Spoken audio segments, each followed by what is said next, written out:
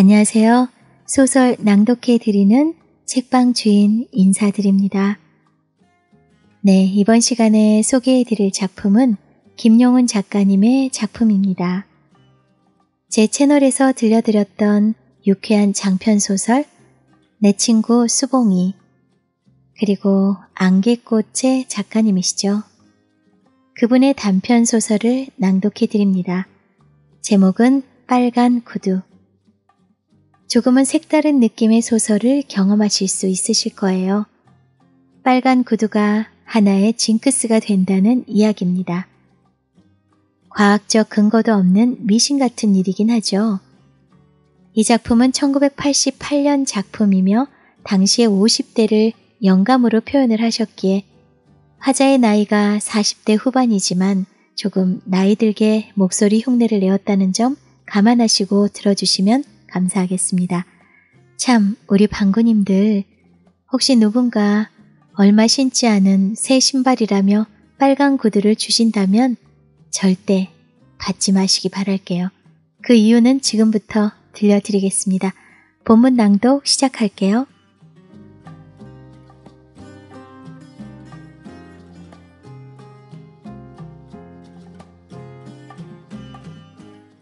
빨간 구두 김용훈 퇴근하던 길이었다. 그 제화점 앞에서 발걸음을 멈추었다. 그러고는 커다란 판유리 안에 그 진열장 안을 기웃거렸다. 다른 날 같았으면 힐끔 눈길만 주고는 그냥 지나쳐 버렸을 터인데 오늘은 그렇지가 않았다. 이렇듯 주춤 서서 구경을 하고 있었다. 진열장 안엔 구두들이 여러 켤레였다. 남자 구두, 여자 구두, 검은 구두, 빨간 구두, 큰 것, 작은 것, 이런 모양 저런 모양, 그런 모습들로 저마다 맵시를 뽐내며 잘 진열되어 있었다.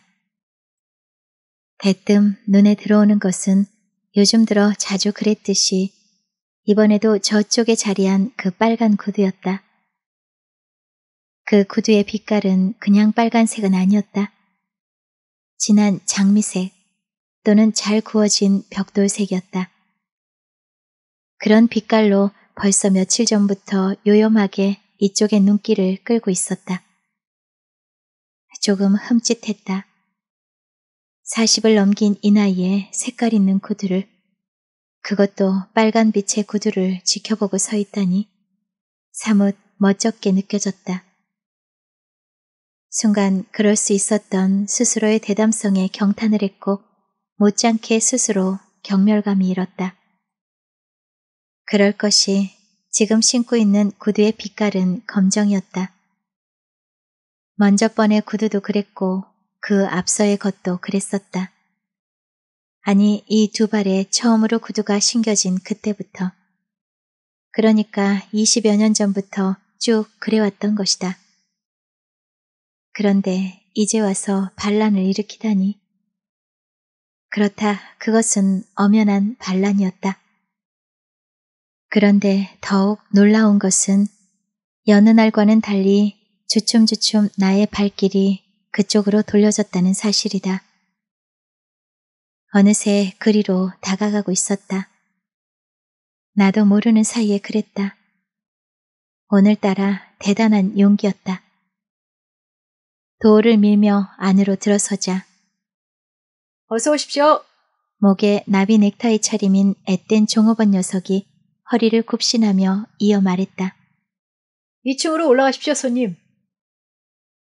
숙녀화는 아래층, 신사화는 2층에서 취급한다는 뜻이었다. 아래층엔 여인들 뿐이었다. 2층으로 오르는 계단을 밟으며 나는 비로소 조금 당황했다. 2층으로 올라가서 어쩌겠다는 것인가? 구두를 살 것인가? 아직 나의 구두는 멀쩡했다. 아무리 험하게 굴려도 반년쯤은 더 신을 수가 있었다. 그렇다고 나는 이것저것 구두를 여러 켤레 비축해 놓고 사는 그런 놈도 아니었다. 구두를 사서 신으면 그것이 다 떨어질 때까지 버티는 그런 성격이었다. 풍족하지 못했었던 생활에서 길들여진 버릇인 듯 했다. 그놈의 빨간 구두 때문에 나는 아래층 저쪽에 진열장 안에서 웃어댄 그 조그맣고 예쁜 빨간 빛깔의 구두를 애꿎게 원망했다. 그러나 이제 어쩔 것인가? 내 친 걸음에 그까지 탄켤레쯤 미리 사지 뭐. 내 주머니 속엔 그럴 만한 돈이 들어있었다. 어서 오십시오. 층계를 다 오르자 아까 그 또래에 그와 똑같은 차림의 젊은 녀석이 나를 기다리고나 있었다는 듯 얼른 반기더니 이리 오십시오. 대뜸 저쪽으로 안내했다. 손님은 많지 않았다. 드문거렸다. 종업원들은 여러 명이었다. 손님 한 사람에 종업원 한 명꼴로 매달려 있었다. 벽을 따라 세워진 긴 진열대에는 층층이 여러 가지 모양, 여러 가지 색깔의 구두들이 얹혀 있었다. 진열대 앞에 선 나는 대뜸 두리번거렸다. 아래층의 진열장 안에 놓여진 그 빨간 구두와 똑같은 놈을 찾고 있었다. 검은 구두는 아예 처음부터 눈에 들어오지도 않았다. 이리저리 붉은 빛깔의 구두로만 시선이 옮겨 다녔다. 그런데 참 이상한 일이었다. 붉은 빛깔의 구두들이 여러 켤레였건만 마음이 내키지 않았다. 구두의 겉모양도 다양했고 보다 멋지다 싶게 뽑아놓은 것도 눈에 띄었지만 역시 그런대로 불만이었다. 아래층 진열장 안에 놓여진 그 빨간 구두는 거기 없었다. 곁에서 눈치를 힐끔힐끔 살피던 종업원이 이윽고 내게 물었다.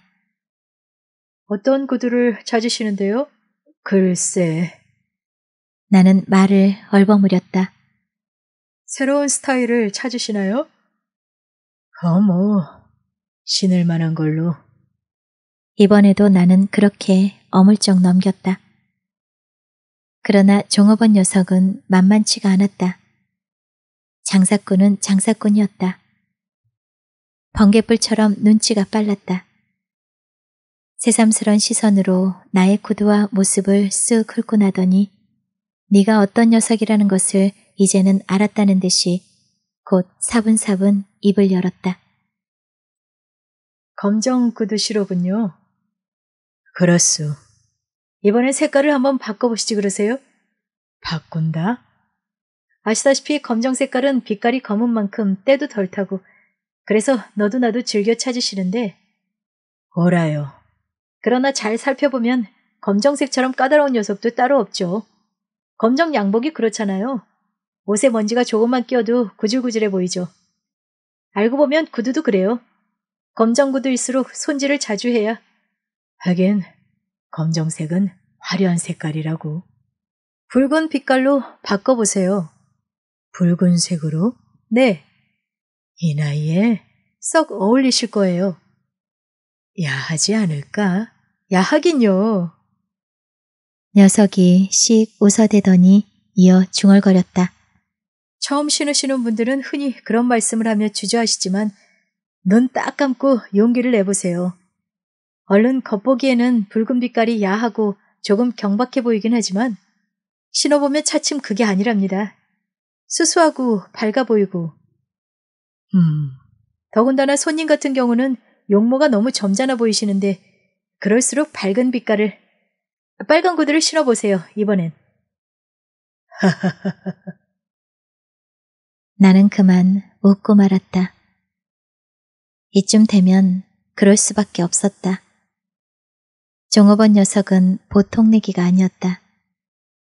벌써 이쪽의 뱃속까지 환히 꿰뚫어보고 나서 붙인 수작이었다. 말을 얼버무린다든가 어물쩍 넘긴다든가 더는 버틸 수가 없었다. 녀석에게 이미 나의 배를 뽑힌 이상 더 버틴다는 것은 외려 우스꽝스러운 노릇이었다. 그래서 이번엔 나도 빨간 빛깔로 한번 바꿔 신을까 해서 이렇게 찾아들었는데. 그런데요? 썩 마음에 드는 놈이 없구먼. 아니, 저것들이 어디가 어때서 그러시죠? 음, 음. 빛깔들도 곱고 디자인도 좋고. 하긴 그렇지만 도대체 어떤 것을 찾으시는데요, 손님? 빨간 빛깔로. 그리고요? 저 아래층 진열장 안에 있는 그런 놈은 없을까? 그러자 녀석은 잠시 고개를 갸웃거렸다. 역시 녀석은 장사꾼이었다. 도갓집 강아지 이상으로 눈치가 빠른 녀석이었다. 조금 생각하던 녀석은 이내 알았다는 듯이 빙긋 웃어대더니 말했다. 바로 저기 진열된 그놈을 보셨군요. 그래, 바로 그런 놈으로. 하지만 손님.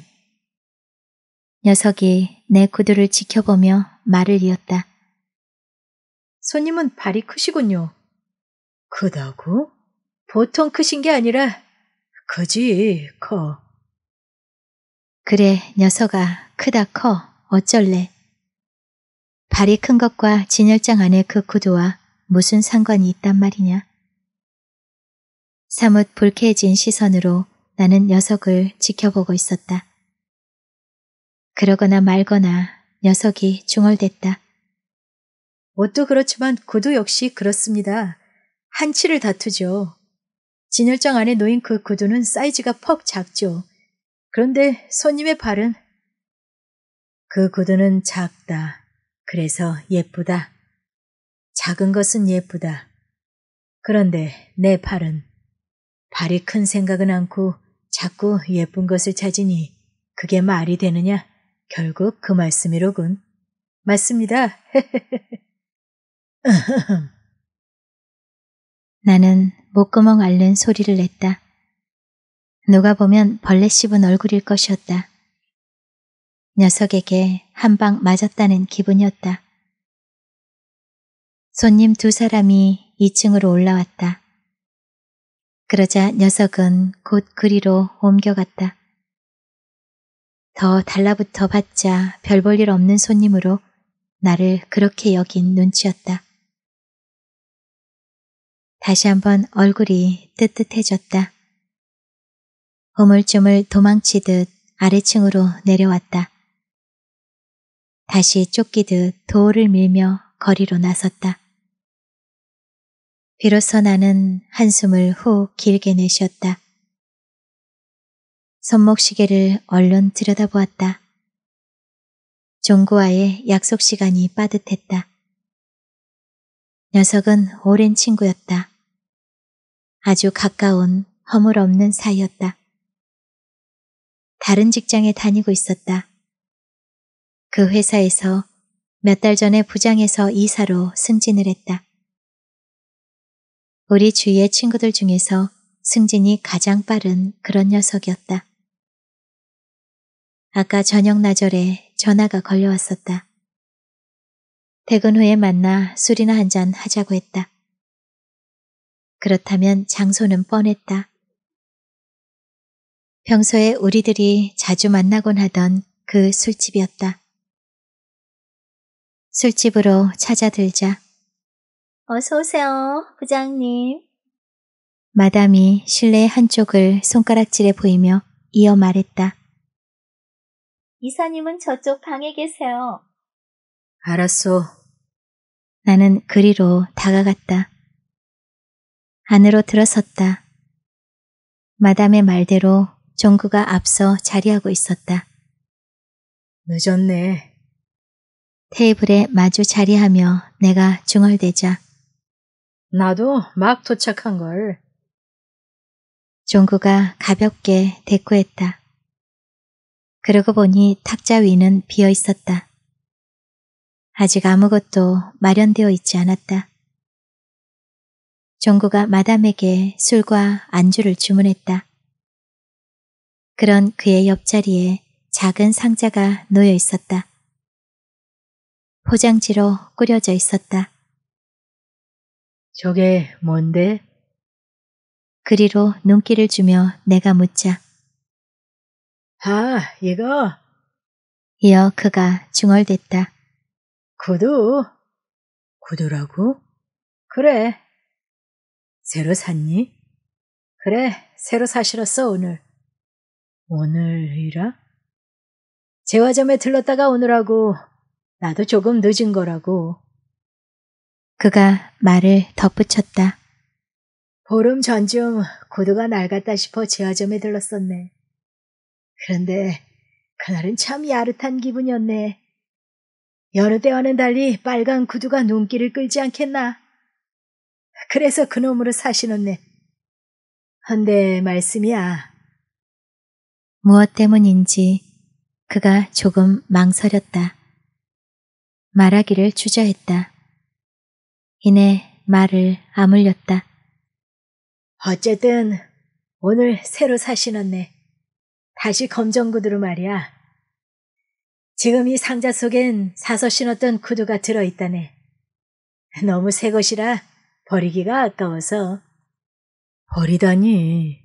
참, 자네가 신으려나? 내가? 그러고 보니 자네와 나는 발의 크기가 비슷하잖나? 새 것이라고 보름밖에 신지 않은. 색깔도 곱고 디자인도 그렇고. 어때? 그러자 나는 자신도 모르는 사이에 얼른 말이 튀어나갔다. 좋아, 내가 신지. 잘 됐군. 그때 마담이 양주병과 안주 접시들을 날라왔다. 그것들을 테이블 위에 차려놓고 종구 옆에 자리 잡은 그녀가 넌짓 중얼댔다. 이사님이 되시다니 우리 집 잊으셨나 봐. 있다니, 그럴 리가. 씩 웃는 종구에게 짐짓 앵돌아진 어조로 그네가 더 지분거렸다. 그럼 아니에요? 이러다간 얼굴이 있겠어요. 높아지시더니 단골 술집 새로 정하셨나 봐. 그런 말 마. 높아지는 거 하나도 안 반갑다고. 반갑지 않다니요? 생각해 보라고. 높아진다는 것은 그만큼 쫓겨날 날이 가깝다는 얘기라고. 안 그래? 엊그제 이사님이 되신 분이 벌써부터 그런 생각을 하세요? 엊그제 좋아하네. 1년은 잠깐이야. 다음번에 보직을 안 주면 그것으로 난 그만이야. 그게 회사 중역들의 운명이라고. 사람 나름이죠. 밑에서는 유능한 부하 직원들이 자꾸 치받아 올라오지. 더구나 이런 불황 속에서는 자칫 그 책임을 져야 하고. 어서 술 드세요. 이래저래 경영자의 눈에 벗어나기라도 하면 그땐 요즘은 밤에 잠이 잘 안 와. 이사가 된 지 언제라고. 벌써부터 그래. 벌써부터 빌어먹을. 새벽이었다. 파출소 천장에 매달린 형광등 불빛이 가물거렸다. 아니, 그런 게 아니었다. 나의 두 눈이 그랬다. 술에 시달린 나의 의식이 그러했다. 두 눈이 자꾸 감겼고 그런 속에서도 머릿속이 온통 지끈거렸다. 머릿속뿐이 아니었다. 시간이 갈수록 뱃속도 불편했다. 가벼운 구토증을 자꾸 느꼈다. 파출소 안은 고요했다. 당직 경관 두 사람과 이쪽 벤치 위에 퍼진 몸으로 앉아있는 나뿐이었다. 나는 그렇게 앉아서 밤을 지새운 것이다. 선생! 젊은 경관이 문득 불러댔다. 아, 예. 나는 고개를 치켜들며 대꾸했다. 정신 좀 드십니까? 회사에 다니신다고요? 그렇습니다. 직함이 부장님이라고요? 옳습니다. 선생께선 간밤에 왜 우리 파출소로 연행됐는지 아십니까? 그, 글쎄요. 내가 얼버무리자 경관이 빠른 어조로 말했다. 간밤에 선생께서 너무 취하셨습니다. 취하신 것까진 좋은데 지나가는 행인에게 공연히 시비를 거셨습니다. 자주 그러십니까? 자주 그러다니요. 저, 저 천만의 말씀입니다. 남에게 시비를 걸기는커녕 주위 사람들과 가벼운 말다툼 한번 해본 적이 없습니다. 믿어주십시오. 그런데 그런 양반이 왜 간밤엔 아시다시피 저희 회사는 규모가 좀 크다 보니 외국과의 무역도 간밤엔 상담차 외국 바이어와 한 잔. 근데 그게 잘 진행이 되질. 그래서 홧김에 행인에게 그러셨다. 죄송합니다. 어쨌든 죄송하게 됐습니다. 그러시면 되나요? 조금 뒤였다. 그들 두 명의 경관이 무슨 귓속말을 잠깐 나누더니 아까 그가 사뭇 부드러운 어조로 말했다. 그만 돌아가십시오. 네? 보아하니 점잖은 분 같게 훈방하는 것이니 앞으로는 조심하시기 바랍니다. 아시겠습니까? 알다마다요. 못쟁이 양반이? 네? 빨간 구두를 신고 계시게 하는 소리입니다. 하하. 어? 가셔도 좋습니다. 고맙습니다. 정말 고맙습니다. 수고하십시오. 허리를 꾹뻑 조금 후에 파출소를 나섰다. 새벽 거리엔 빈 택시들이 드문거렸다. 지나가는 택시를 얼른 세웠다. 차가 섰다. 뒷좌석으로 올랐다. 차가 곧 떠났다. 운전수에게 방향을 일러주고는 등받이에 던지듯 몸을 기댔다. 피곤했다. 아니, 앞서 허탈했다. 또 파출소 신세를 졌다는 것이 그랬다. 나이 40을 넘긴 이 마당에 이 무슨 주책 없는 짓이란 말인가? 그뿐인가, 어디? 멋쟁이 양반이? 빨간 구두를 신고 계시게 하는 소리입니다. 하하.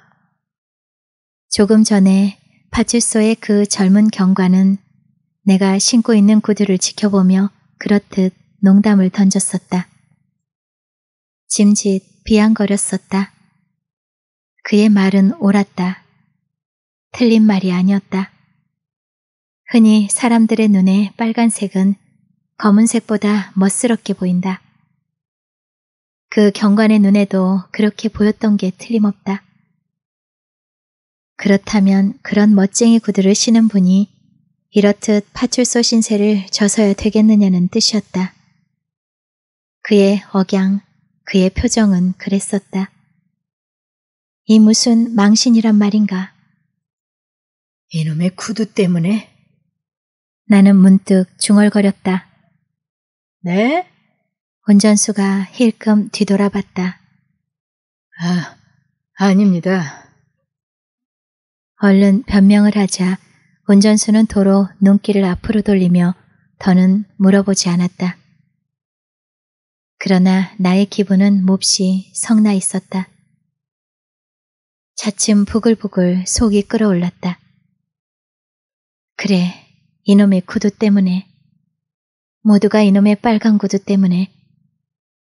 엉뚱하게도 나는 지금 내가 신고 있는 빨간 구두에게로 모든 허물을 뒤집어 씌우고 있었다.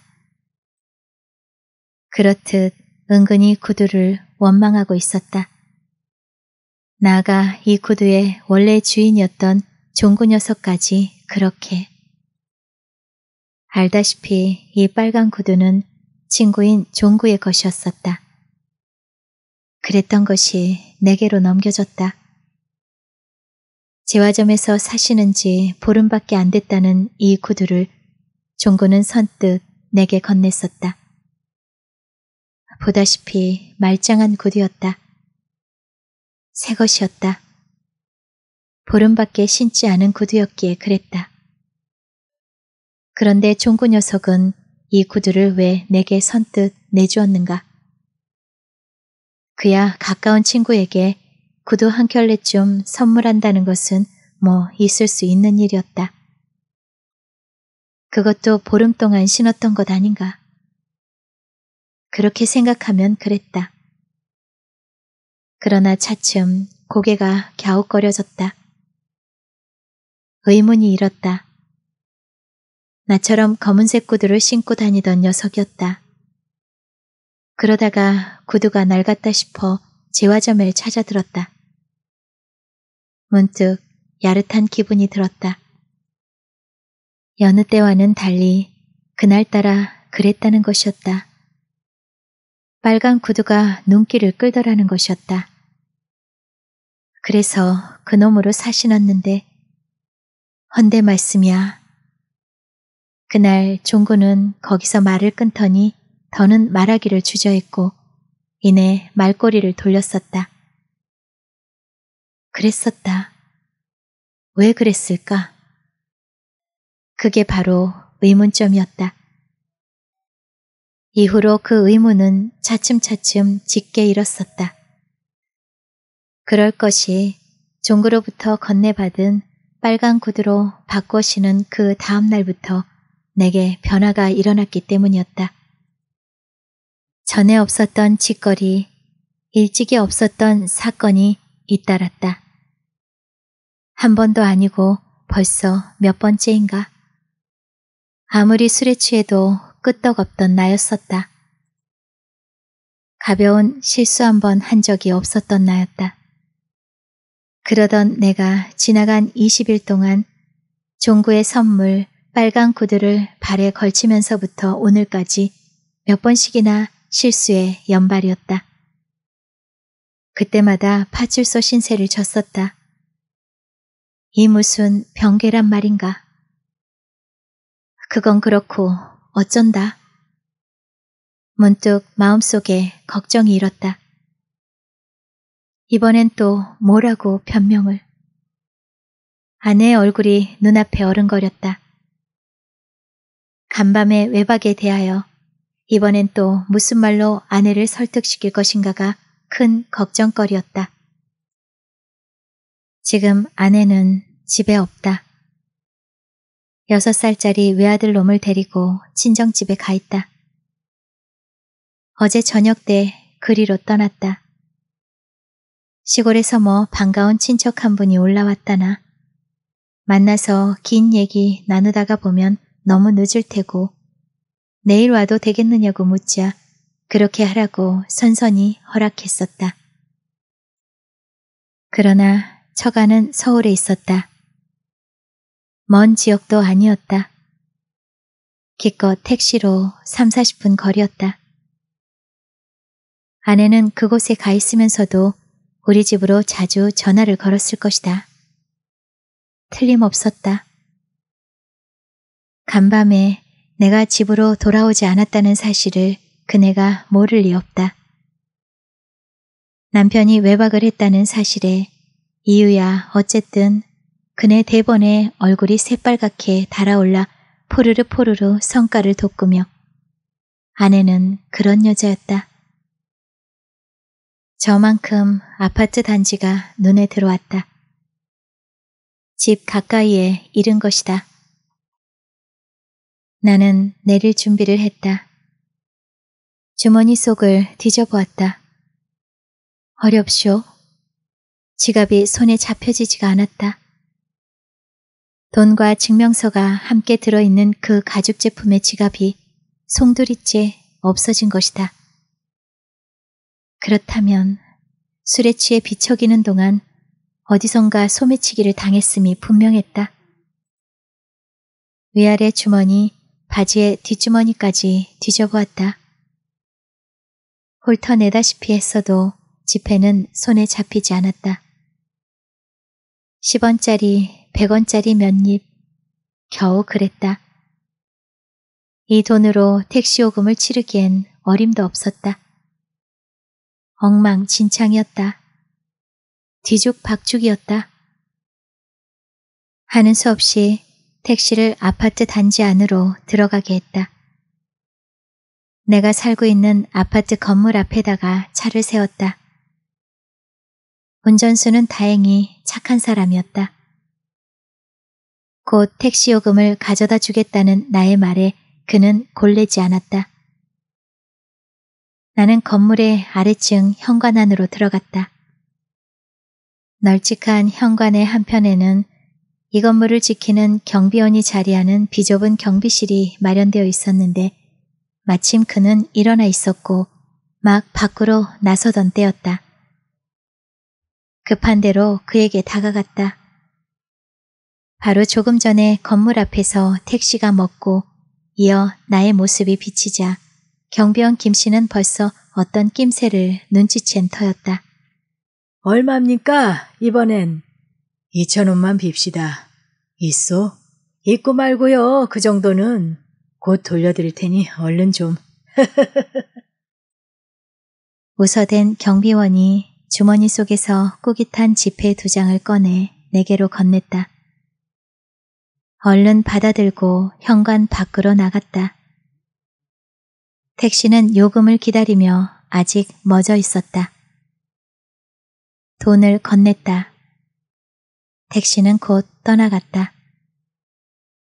내가 도로 현관 안으로 들어서자 담배를 태우며 어정거리고 서 있던 김 씨가 얼른 내게 중얼댔다. 담배 없으시죠? 그것도 어정쩡 대꾸하자 싱글거리며 김 씨가 말했다. 네, 그러실 줄 알았습니다. 그는 내게 담배를 권했고 라이터 불까지 디미는 친절을 보여주며 말했다. 간밤에 또 한잔 하신 모양이죠? 그랬소. 요즘 경기가 좋으신 모양입니다. 경기는 무슨... 그러나 그가 물고 늘어졌다. 택시비까지 털어가며 밤새워가면서 그러니까 하는 소리죠. 밤새도록 술을 마신 게 아니었소. 그럼요. 그만 그렇게. 그렇다면 그 혹시 요즘 부장님은 그는 잠깐 말을 끊었다. 이 건물을 지키는 두 명의 경비원 가운데 한 사람이었다. 하루 걸러 교대로 근무했다. 나보다는 나이가 두 서너 살 위인 40대 중반의 사내였다. 성격이 사근사근 친절했지만 그래서 조금 경박해 보이는 사내였다. 이곳 경비원으로 오래 근무해왔고 더구나 나의 아내와는 고향이 같아서 진작부터 우리 집과는 서로 허물없이 지내온 터였다. 그가 이죽거렸다. 바람 나신 거 아닙니까? 뭐라고요? 거 있지 않습니까? 이 나이에 무슨 이 나이라뇨 옛날 같으면 늦바람이지만 요즘 세상에선 한창 나이 아닙니까? 그러니 바람이 날만도 에이 여보슈 전에 없이 부장님이 멋을 부리시니까 하는 소리죠. 내가 멋을? 그럼 아닙니까? 쭉 신어오던 검정 구두를 벗어 던지고 빨간 구두를 신고 다니시니까 하는 말이죠. 그뿐입니까 어디? 전보다 더욱 자주 술을 그리고 오늘처럼 새벽에 집으로 찾아드는 날이 찾으니까 조심하셔야죠. 공자님께서는 나이 40대를 불혹이라 하지 않았습니까? 세상 유혹에 흔들리지 아니하는 나이로 그런 유혹에 걸려들지 말라는 뜻도 되죠. 착한 아주머니를 보셔서라도 제법 문자까지 곁들여가며 나를 타이르고는 얼른 한마디 덧붙였다. 아주머니는 지금 댁에 계십니다. 뭐라고요? 놀라시기는. 언제 돌아왔소?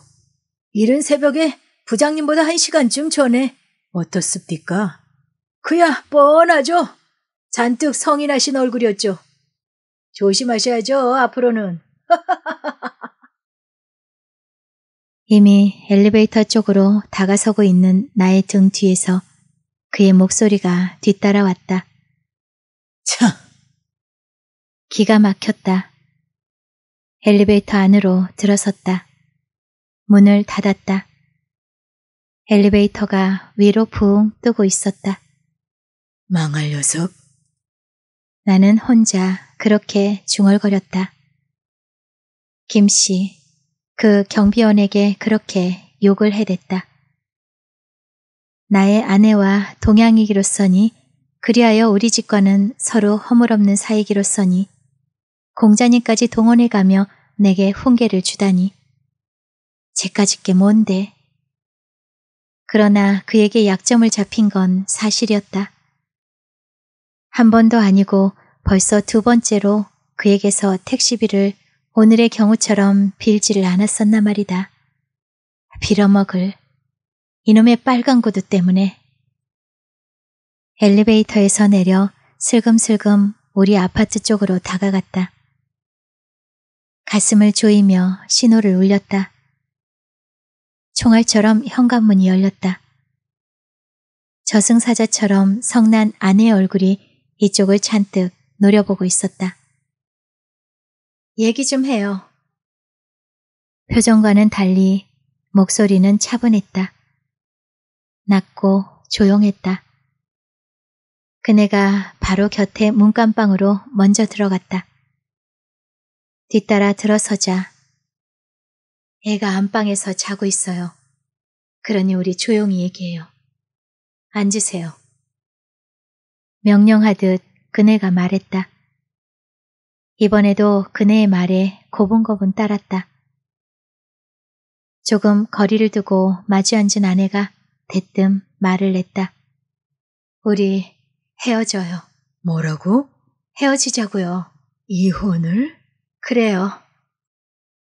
그네가 말을 이었다. 그게 서로 안 낫겠어요? 서로 편하지 않겠어요? 그 심경 이해는 가지만 그랬다고 그렇게 함부로 말해도 되는 거야? 여복했으면 내 입에서 그런 말이 나오겠어요? 그래도 그렇지. 생각해 보세요. 뭘? 시침 뗄 일이 아니에요. 심각한 문제예요. 당신, 근래로 벌써 외박이 몇 번째예요. 네? 이번에도 또 파출소 신세였나요? 그랬어. 그렇다면 이번에도 술 때문인가요? 어. 도대체 몇 번째예요? 당신 도대체 왜 그래요, 요즘? 어디 솔직하게 말씀해 보세요. 네? 아내가 다그치자 나는 그만 난처했다. 어이가 없었다. 할 말이 없었다. 이렇다 하게 아내를 납득시킬 이유가 없고 보니 그만큼 아니 그 이상으로 설명이 어려웠다. 세상에 이럴 때도 있었다. 어서 말씀해 보세요. 또 어물어물 이번엔 안 통해요. 하하하. 당신 여자 사귀고 있죠? 뭐라고? 나 몰래 어떤 여자와 아니에요? 무슨 소리야? 솔직하게 털어놓으세요. 그럼 경우에 따라서는 용서받을 수도 있을 테니까요. 어서요. 그건 당신의 오해야. 절대로 그런 일 없다고. 오해라고요? 절대로. 하늘에 맹세해. 20여일 동안 당신은 허구한 날이다쉽게 술이었어요. 그런데 가만히 짚어보니 모두가 저 빨간 구두를 신고 난 다음부터 전에 없이 왜 갑자기 빨간 구두를 사신었죠? 네? 분명히 말하지. 그러세요. 저 구두는 사시는 게 아니고 실은 종구 녀석이 보름쯤 신다가 내게 헌데 왜 지화점에 가서 사시는 거라고 거짓말을 했어요? 이런저런 설명이 귀찮아서 그땐 그냥 믿으라고. 못하면 종구에게 전화를 걸어봐도 좋고. 어쨌든 아내는 내 얼굴을 빤히 지켜보았다. 어찌나 시선이 강렬한지 금방 내 얼굴에 구멍이 날 것 같았다. 넌짓 그네가 말을 이었다. 그 말이 그 말 아니겠어요? 하, 남을 유혹하고 싶을 땐 나도 남에게 얼마든지 유혹을 당할 수도 있다는 얘기예요. 무슨 말이지 그건? 전에 없이 딴 여자를 사귀고 싶은 욕구가 마음속에 일자 그게 결국 빨간 구두로 그러다 보니 술로 여자로 아닌가요? 이 마당에 솔직히 말해줄게. 전과는 달리 직장 문제라든가 나이라든가 요즘 들어 왠지 초조하고 불안하고 허전하고 어느 날 문득 빨간 구두가 내 눈길을 끌더군. 그런 빨간 구두가 신고 싶어지더군. 그랬을 뿐이야. 그 이상은 더도 덜도 없어. 믿어줘. 정말이야. 그렇다면 앞으로 어쩌시겠어요? 저놈의 빨간 구두를 당장 벗어버리겠어. 저 몹쓸 놈의 구두. 당장 내다가 버리라고. 그래도 되겠어요? 저놈의 구두 때문에 이젠 나도 지긋지긋하다고. 며칠 뒤였다. 퇴근길에 아파트 건물의 현관으로 들어섰을 때 대뜸 경비원의 얼굴이 낯설었다. 여느 때 같았으면 어제 하루를 집에서 쉬고 오늘은 김씨 그 사람이 또 근무를 하는 날이었다. 김씨 대신에 새로 오셨나요? 조금 궁금증이 일어 넌지시 물어보자. 아니에요. 오늘만. 나이 50을 넘어 보이는 영감이 말을 덧붙였다. 오늘 그 사람이 결근을 해서 내가 대신. 난 옆동에 근무를 해요. 아, 그러십니까? 오늘 그 양반 어디가 아픈가요? 내친 김에 내가 그저 묻자 조금 머뭇대던 영감이 혼잣말처럼 흥얼거렸다. 그 사람. 네? 지금 경찰서에 가 있어요. 왜요? 어제 집에서 쉬는 날, 글쎄 술 마시러 바에 갔었다나. 거기서 곤드레 만드레 술값 때문에 시비가 붙었대요. 그러다가 기물을 부수고는 그만 저런 전화 내나 무슨 돈이 있다고 그 비싼 술집을 찾아간담. 더구나 평소엔 별로 술을 즐기지도 않던 사람이. 어... 더구나 이상한 것은 그 사람이 엊그제부터 빨간 구두를 신고 있더란 말씀이야. 웬 것이냐고 물었더니 이 건물에 사는 어느 잘 아는 아주머니 한 사람이 신을만 하거든 김씨 아저씨 신으세요 하더라나. 보아하니 멀쩡한 구두였다잖소. 내가 보기에도 그렇더구만. 왜 이 멀쩡한 예쁜 새구들을 버리려 하느냐고 물으니까 여인은 그저 웃기만 하더라나. 어쨌든 그런 구두인데 그걸로 당장 바꿔 신고 좋다고 뽐내더구먼. 그걸 신고 전에 없이 멋을 부린다 의시되더니만 그만. 그놈의 구두가 또 한 사람 잡았구나. 지금 뭐라고 하셨소? 아, 아닙니다. 그저. 김씨 그 사람 그 나이에 음...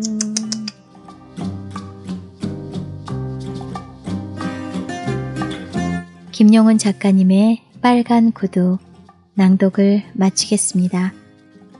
다음 시간에 또 다른 작품으로 찾아뵙겠습니다. 여러분의 구독과 좋아요는 책방에 큰 힘이 됩니다.